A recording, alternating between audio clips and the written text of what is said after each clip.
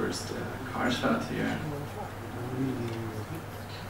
It all started with with the background, which is LA. Then I- we had to double it. Ok, lo, lo sfondo Los Angeles e poi hanno dovuto duplicare.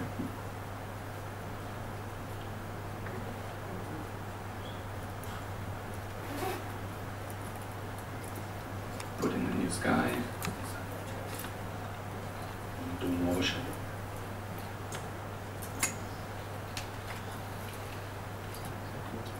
This is where the where the car actually was shot.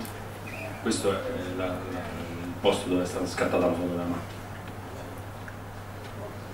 And this is used for just for the street. E questo viene utilizzato soltanto per la strada.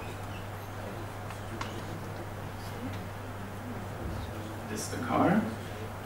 Poi è giunta la macchina.